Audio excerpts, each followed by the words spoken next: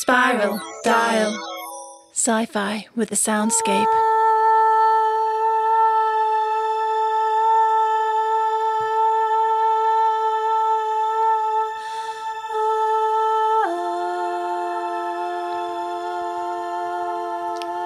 The first sensation she remembered was a coolness on her forehead, as if someone had placed a damp flannel on her face. She felt somebody stroking her hair, slowly. Somebody who cared about her. It reminded her of her mother when she was a little girl, back when she had been loved. She took a deep breath in and out and felt no pain. There was something in her arm, something tight around her elbow. Remembering what had happened, she stretched her fingers, but they felt fine. Opening her eyes, she could not make much out. The room was bathed in a soft orange light. It seemed distorted somehow. There was a large tree next to her bed, growing strange shaped fruit. A low hanging branch dangled right next to her, bearing a heavy load a pair of deflated gourds filled with a clear, iridescent fluid. It looked strangely familiar. Perhaps she had travelled to this place before, in her old life. Her mouth was dry, lips cracked. Her breath echoed in her ears. She gazed at the ceiling, afraid to look down at her hands. She could feel her fingers slightly cool. Squinting to her left, she realized that the tree was in fact a drip stand and that she had a cannula in her left arm giving her fluids. She touched the tip of each finger to her thumb experimentally. They all seemed to be intact. So, she must be on antibiotics. That made sense, but how the hell had that happened?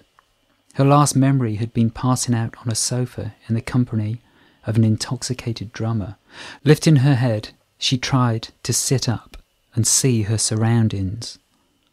She discovered a plain white wall and a steel door. At least there was a door. That was a start. It meant that she had some hope of opening it. Stretching the fingers of her left hand, she gingerly pulled it from beneath the sheet. It seemed to move normally, and the sheet felt crisp beneath her skin. Still not daring to look, she considered whether she could be moving a phantom hand, an echo of what she had once possessed. This was ridiculous. She had amputated endless limbs herself on the battlefield, so losing one herself would be no less than her due. Forcing herself to get it together, she deliberately moved her eyes downwards. Her hand looked completely normal. Her first reaction was to thank God for his mercy. Perhaps Patricia had been right. The ship had changed her. Her breath still sounded unusually loud within her own head and was very slightly stronger in her right ear. Very slowly, she turned her head towards that side and discovered that she was not alone.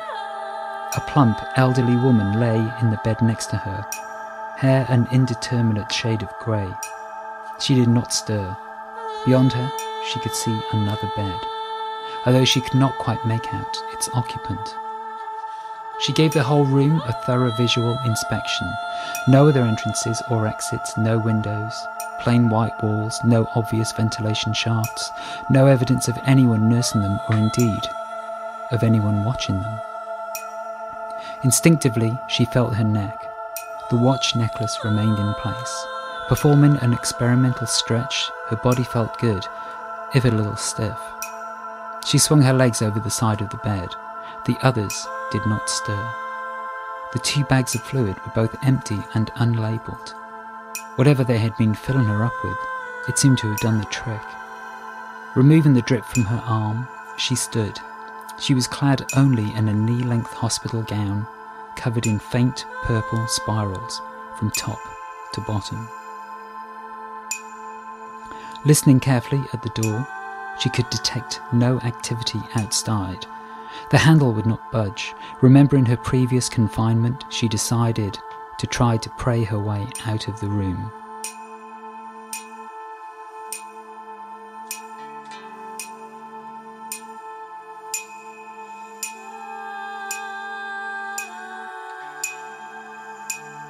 Hail Mary, full of grace, the Lord is with thee.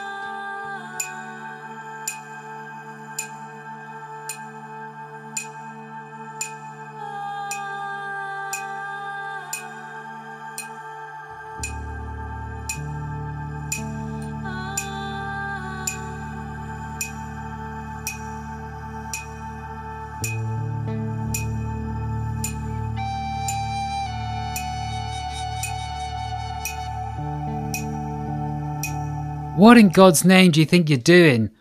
Some of us are trying to get some kep. Archie's indignant voice filled the small room.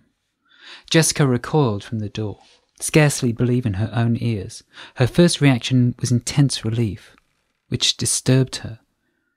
Had she really thought that everything she remembered had happened? More than that, why should she care whether he lived or died? Slowly, she turned around. Her eyes confirmed the evidence of her ears. It was he, sitting up in the far bed, hair sticking up on end and sporting at least a couple of weeks' worth of stubble. Archie? Is it you? I'm always me, he retorted. At least I have been for a while. What the hell happened to you? Did I hear you praying? Jessica didn't know quite how to respond to that, so she pretended she hadn't heard. What are you doing in here anyway? he continued. I wasn't expecting you down here. Well, I'm not quite sure myself. I had some sort of infection in my hand. The last thing I remember, I was backstage with Jeff, and I suppose he must have brought me down here. She tailed off, hesitant. What had happened? The talent show, crucifixion, clinic, and captain's office all jumbled together in a kaleidoscope of fragmented memory. Archie sprang up from his bed, surprisingly energetic. You look like you've seen a ghost. Come on, have a seat. He guided her to his bed, and she sat gratefully. She felt that sudden warmth again where he touched her. Glancing up at him, she decided to take a chance. Can I trust you, Archie? Of course you can, he replied. He seemed genuine. I think you might be able to help me understand what's going on.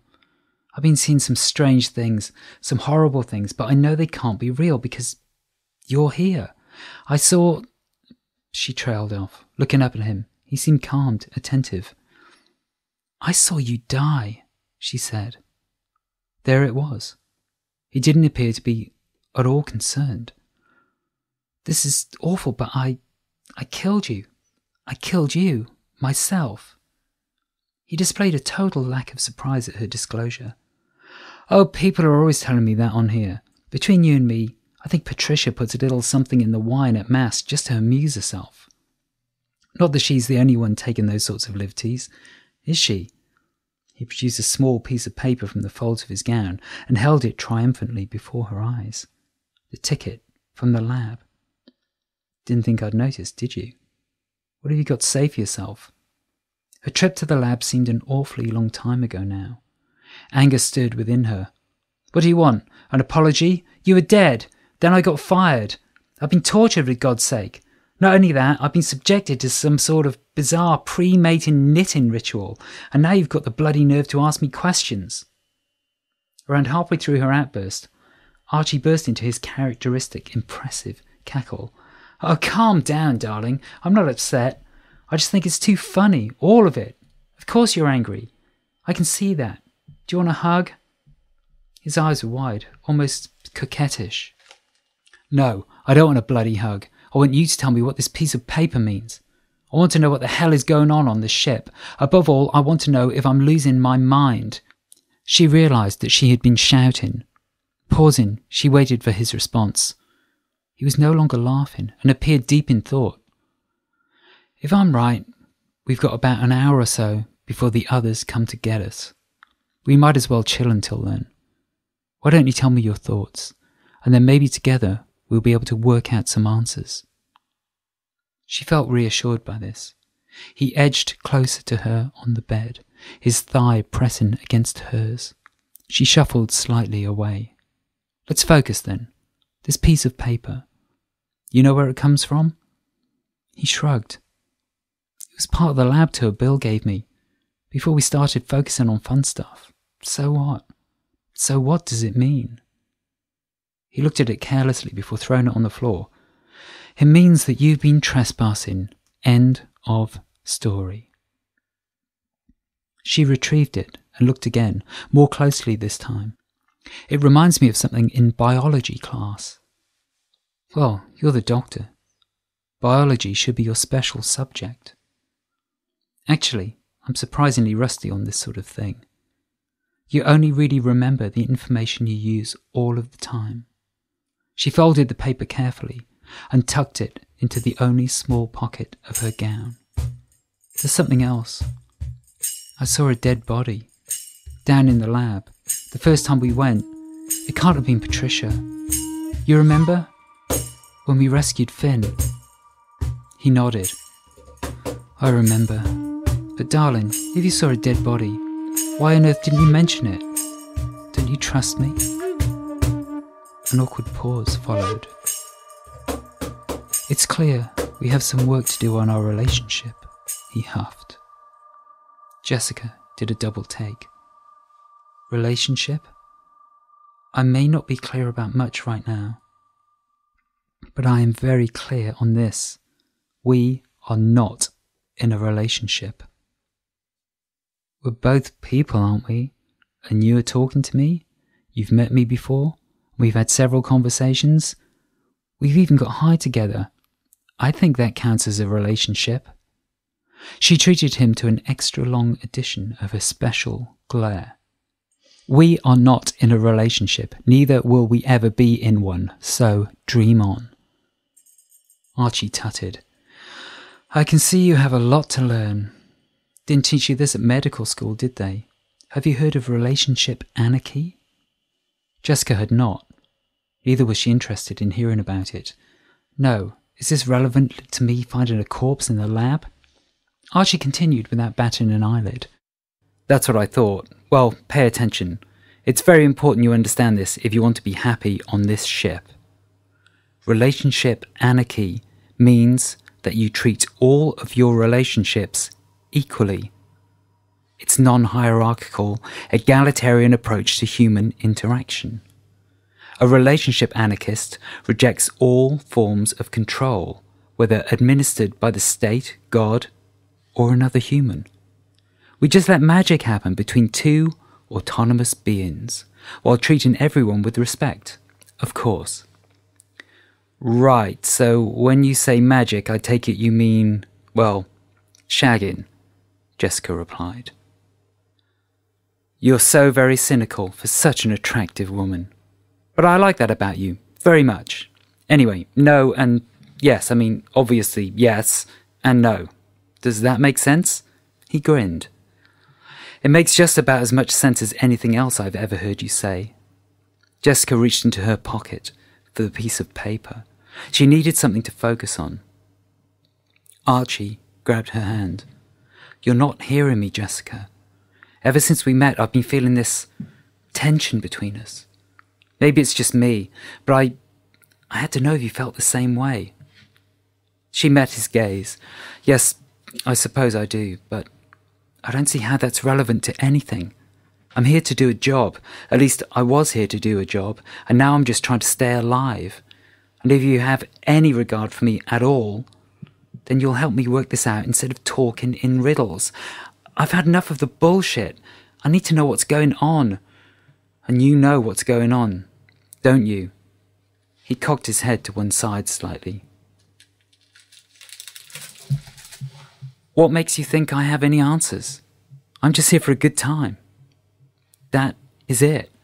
So, death, torture, and murder and rape is your idea of a good time? Now you mention it, it does sound very much like a pretty amazing party I threw for my birthday a few years back. Jessica made a move to rise, and he stopped her, gripping her forearm. Think about it, Jessica. If I knew what was going on, why would I be stuck in here with you? You've been tripping out on Patricia's special brew for sure, as have I. Some kind souls just hooked us up to get it out of our system. I promise you, that's all this is. We'll get out of here and get you back to your cabin. All it is? I am not okay with some random woman putting drugs in my food. Archie raised his eyebrows. Aren't you now? I suppose I could say the same. I might take it up with the captain, actually. Then you'll lose your job for real. How about that? She glared up at him again, before realizing that he was creasing up, and she couldn't help cracking a smile. Come on, Jessica. Think about it. You're telling me you were tortured. He ran his fingers slowly down her arm, leaving a tingle in their wake. Yet there's not a mark on you. You're telling me you found a dead body, and yet you didn't report it to a soul. I know this ship is a little on the far side of weird, but these things simply aren't possible. It just takes a little time for reality to settle in here, but you'll get there in the end. Jessica shook her head. It sounded so reasonable when he said it.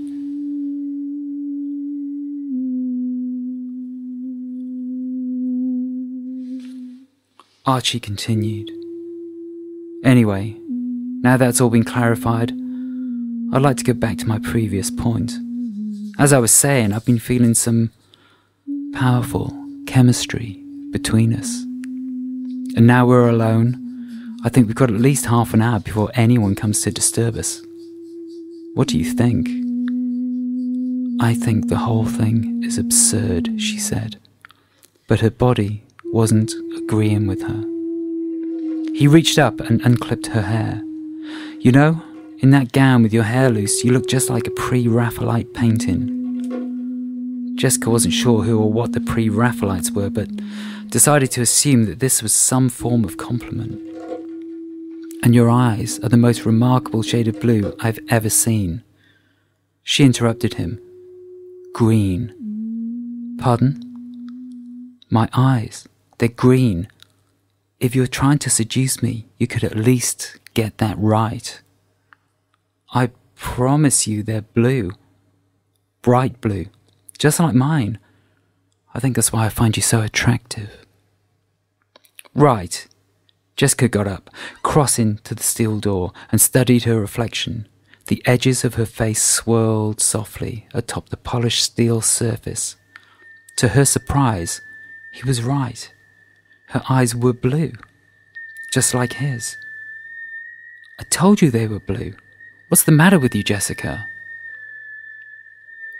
She continued to glare at her own reflection. It felt like she had become half of a new person. Lifting her hand, she traced the outline of her figure on the door. The metal felt cool beneath her fingers. As she touched it, she thought she saw a shadow on her hand, a remnant of the contagion. She jumped back in horror, almost falling. Immediately, she felt Archie behind her, supporting her weight. She let herself relax back into him. He held her firmly, tighter than she was expecting. As he released her, she turned towards him. All of a sudden, he was holding her tight. His chest felt firm against her, firmer than she had expected.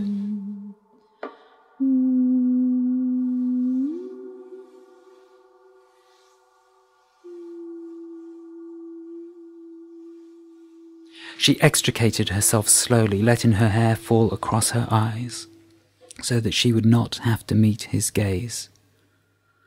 As she did so, she caught sight of the bed in the middle of the room. She had completely forgotten that there was another person in there. Shaking her head, she looked once more.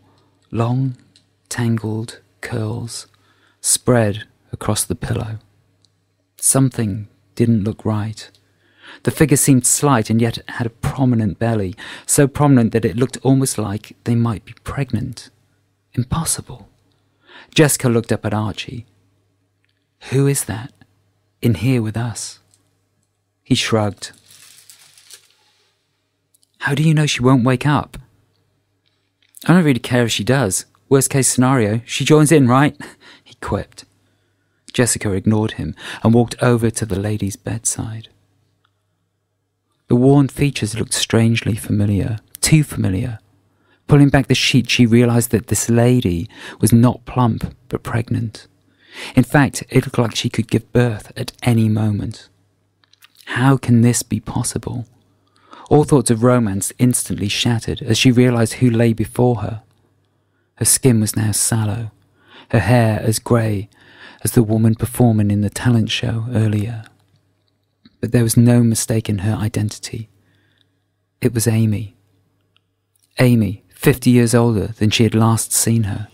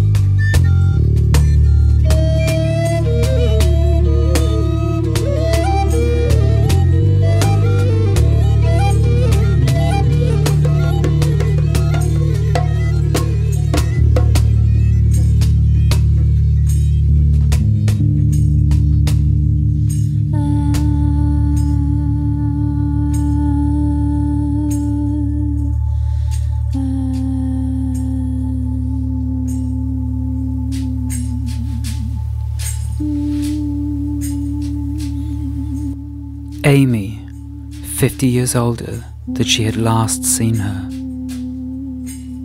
Time seemed to stand still for a moment as her mind raced to make sense of the evidence in front of her eyes. Just then, the door opened precipitously and the rest of the band piled in. Good evening, my sleeping beauties, Jeff roared. Time to rise and shine. Soundcheck starts in 15 minutes, and I absolutely promised Patricia we'd get there on time for once. Jesus, Jeff. You know, for a drummer, you have absolutely no sense of timing.